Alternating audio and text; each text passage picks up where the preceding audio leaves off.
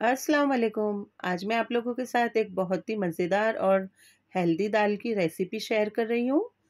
तो ये काली उड़द और मसूर की दाल है। इसे बनाना बहुत आसान है और बेहद टेस्टी बनती है ये दाल। तो रेसिपी पसंद आएगी तो प्लीज़ वीडियो को लाइक और चैनल को सब्सक्राइब ज़रूर कीजिएगा। चलिए रेसिपी स्टार्ट करते हैं। पौना कप यहाँ पर मैंने काली उड़द की दाल लिया और पौना कप ही मैंने यहाँ पर मसूर की दाल लिया है। दोनों दाल हमें सेम क्वांटिटी में लेना है। अब इसे अच्छी तरह से वॉश कर लेंगे। अच्छी तरह से वॉश कर लिया है मैंने तीन चार पानी से इसे। अब इसे कवर करके रख देंगे आधे घंटे के लिए। अब भिगी हुई दाल को कुकर में ऐड कर लेंगे। इसमें ऐड कर लेंगे तीन मीडियम साइज़ के टमाटर और दो से तीन हरी मिर्चें।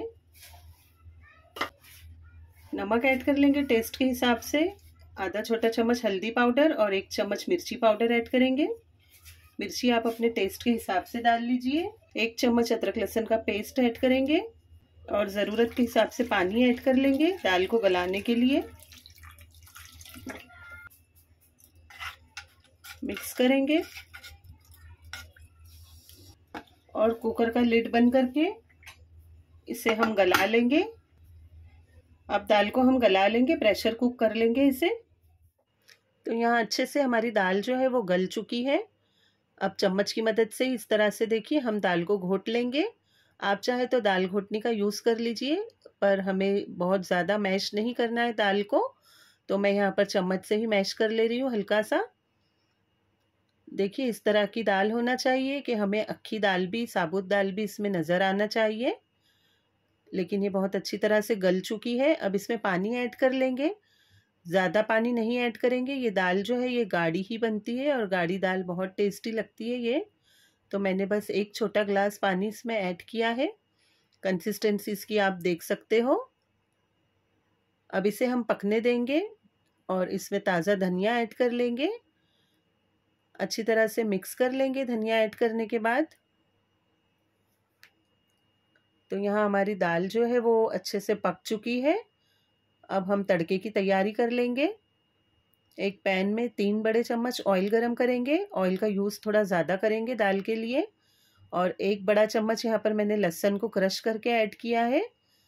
तो क्रश किया हुआ लहसन ऐड करने से बहुत अच्छा टेस्ट आता है, डबल हो जाता है लहसन का फ्लेवर। लहसन को थोड़ा सा फ्राई कर लेंगे।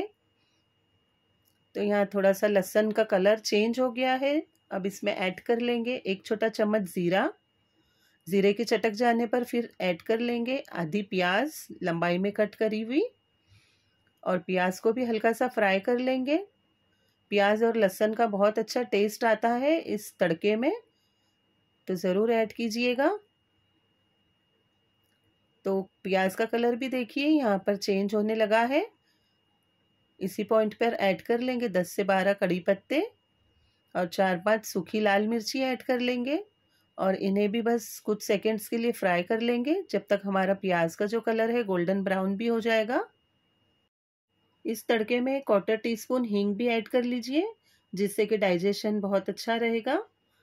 अब सारा तड़का हम दाल में ऐड कर लेंगे और गैस की फ्लेम को ऑफ़ कर देंगे। बहुत ही टेस्टी बहुत ही मज़ेदार ये दाल बनकर तैयार होती है। तो रेसिपी को ज़रूर एक बार ट्राई कीजिएगा और मुझे कमेंट करके बताइएगा कि आपको कैसी लगी दाल की रेसिपी रेसिपी पसंद आई है तो प्लीज़ वीडियो को लाइक और चैनल को सब्सक्राइब ज़रूर कर दीजिए। फिर मिलेंगे इंशाल्लाह एक नई रेसिपी के साथ। टेक केयर अल्लाह हाफिज़ थैंक्स फॉर वॉचिंग